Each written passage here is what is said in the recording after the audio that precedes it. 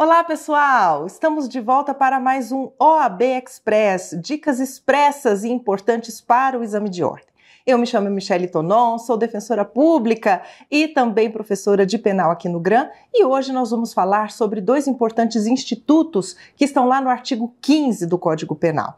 Me refiro à desistência voluntária e ao arrependimento eficaz, aos quais a doutrina penal chama de hipóteses de tentativa abandonada. Vejam, nós já sabemos que o crime tentado é aquele em que o agente ingressa na fase executória, porém, por circunstâncias alheias à sua vontade, ele não chega à consumação.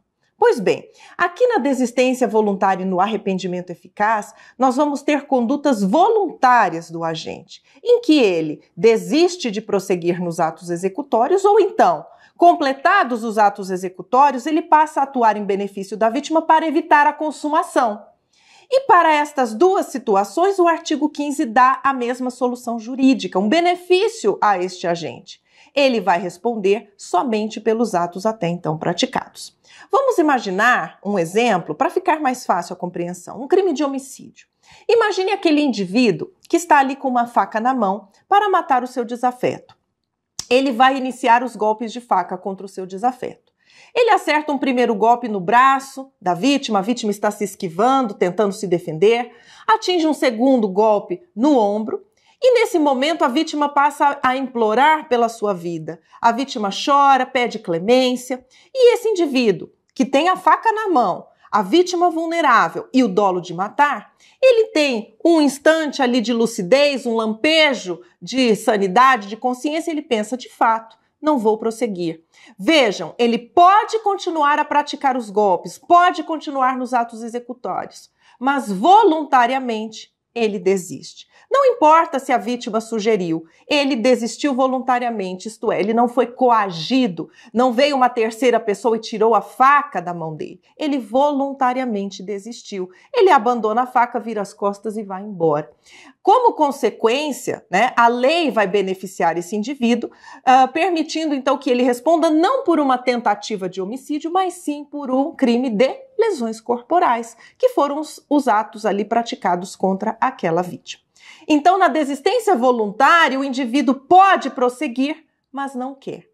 E no arrependimento eficaz, qual seria a diferença? Né? O arrependimento eficaz está na parte final do artigo 15. E no caso do arrependimento eficaz, o agente já praticou os atos executórios todos. Imagine que esse indivíduo do homicídio com a faca tenha dado três, quatro golpes de faca. A vítima já está muito ferida, sangrando, e ela então ali já está praticamente desmaiada. Se esse indivíduo vira as costas, vai embora e deixa a vítima ali naquela situação, em algum tempo ela vai morrer em razão da hemorragia, daqueles ferimentos. No entanto, imaginem que esse indivíduo, depois de dar estes golpes, que seriam aptos a matar, ele se arrepende, ele pensa: meu Deus, eu preciso salvar essa pessoa, eu não deveria ter feito isso. E então ele pega essa pessoa, coloca no carro, leva ao hospital, busca tratamento médico, paga os remédios, paga o tratamento. Ele vai ao hospital público, não tem vaga, não tem problema, eu levo a um hospital particular. Médicos, por favor, façam o que for necessário para salvar essa pessoa, ela não pode morrer. E então os médicos atuam ali de forma bastante rápida e salvam aquela vítima da morte. Neste caso, nós vamos ter um arrependimento eficaz. Por quê? Porque a vítima não morreu. Vejam, praticados os atos executórios que seriam suficientes à consumação, o agente se arrepende e passa a atuar em benefício da vítima. E esse arrependimento deve ser eficaz, porque, claro, para ser beneficiado, a vítima não pode vir a falecer. Então, no arrependimento eficaz, a consequência jurídica é a mesma da desistência voluntária. Este indivíduo não responde por uma tentativa de homicídio, ele responde por um crime bem menos grave, que é o crime de lesões corporais. Legal, pessoal? Então, com isso, vocês entenderam bem o artigo 15 do Código Penal, a desistência voluntária e o arrependimento eficaz. Lembrando que basta que sejam voluntários, não precisam ser espontâneos. Em direito penal, existe uma diferença entre o que é voluntário e o que é espontâneo. Voluntário é tudo aquilo feito sem coação. Já o espontâneo é aquilo em que a ideia inicial parte do próprio agente. Não é exigido que o próprio agente tenha tido a ideia de desistir ou de se arrepender. Ele pode sim ter recebido uma sugestão da vítima, a vítima que pede, né, pelo amor de Deus, que pede clemência. Isso não afasta a voluntariedade dos institutos. Então, o, o, o artigo 15 não exige espontaneidade, se contenta com a voluntariedade.